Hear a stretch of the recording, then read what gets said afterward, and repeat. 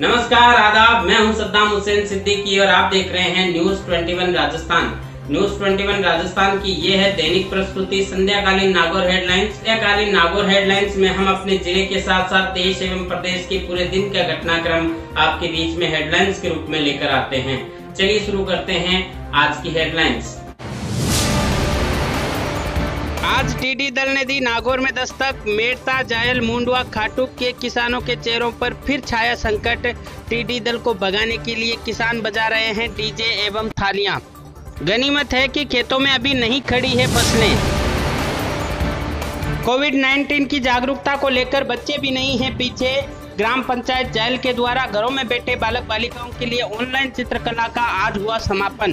प्रतियोगिता में इसी का जोशी ने प्रथम, रागिनी चतुर्वेदी ने द्वितीय, वहीं जानवी व्यास ने प्राप्त किया तृतीय स्थान। आज ज़िले भर में मनाई गई महाराणा प्रताप की चार सौ अस्सीवी जयंती, भावता सरपंच से प्रतिनिधि, महिपाल एवं साथियों ने सोशल डिस्टेंसिंग की पालना के साथ पुष्प किए अर्पित। वहीं क्षत्रिय युवक संघ के नाथू सिंह ने भी प्रेरणा लेने की कही बात।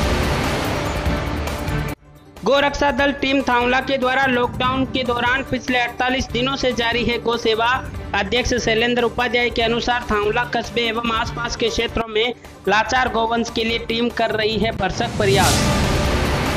थावला क्षेत्र की ग्राम पंचायत कोड के बासनी ग्राम में भालू आने से मचा हड़कंप।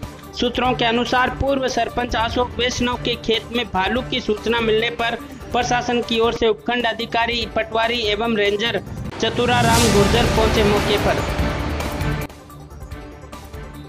सोमवार 11 मई को आपके अपने चैनल न्यूज़ 21 राजस्थान पर शाम पाँच बजे लाइव आएँगे राजस्थानी हास्य कलाकार सोहनदान भूतास।